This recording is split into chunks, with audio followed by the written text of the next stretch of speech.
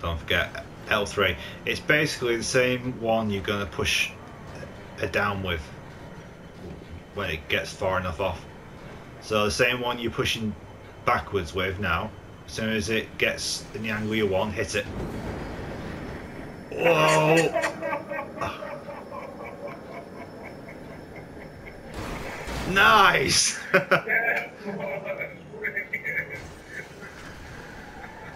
Excellent.